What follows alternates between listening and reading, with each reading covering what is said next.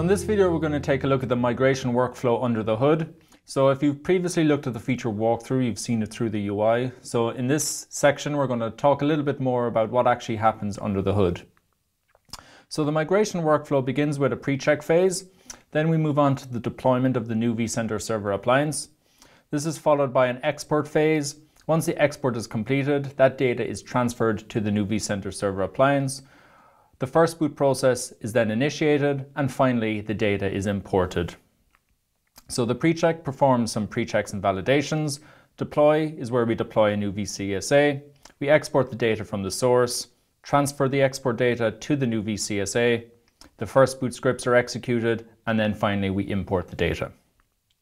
So let's talk about the pre-check phase first. So what this does is it verifies that all the services are running on the source Windows vCenter server, make sure that all the services are in healthy or green state. It estimates the export disk usage, so it makes sure that the Windows uh, machine has enough free space to satisfy the export.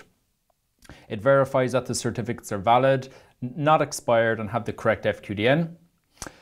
We also discover any registered extensions, so SRM, Update Manager, NSX, for example.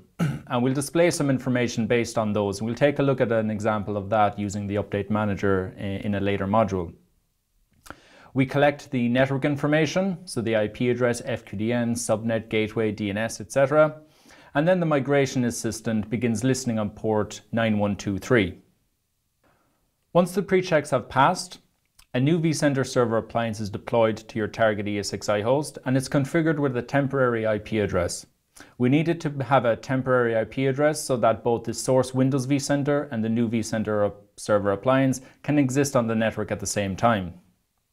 The new appliance must have connectivity to the source Windows vCenter and it must be able to forward and reverse DNS lookup the IP address and FQDN of the source Windows vCenter. Once the vCenter server appliance has been deployed, the export phase will begin. So all the individual components are exported sequentially Failure to export any component will cause the migration process to fail and you would have had to troubleshoot why the export failed and begin the migration again. The export is staged to the AppData local VMware vCenter Migration Assistant Export Director and we'll look at the export in more detail in the deep dive module.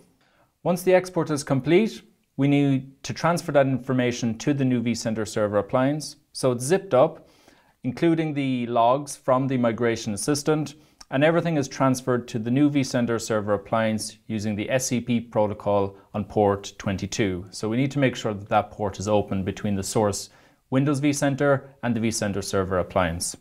Next, the first boot process is initiated on the vCenter server appliance. This is the same first boot process that would happen on a clean install of a vCenter server appliance. So the first boot scripts are run sequentially, configure all the services to a factory default setting.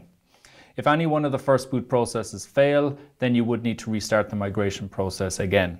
And lastly, once the first boot process is complete, we can import the data. So the import data is unpacked. Each component imports its own data sequentially. Again, if any import failure occurs, we would have to restart the migration process again. But once the import is completed, the import data then is cleaned up and the vCenter server appliance is ready for use. So that highlights the migration workflow in a little bit more detail. We will even delve a little bit deeper in the next module to each of those phases and highlight every little aspect that's happening under the hood via the log messages. The next section we're going to talk about is the supported migration paths. So I hope you enjoyed this video.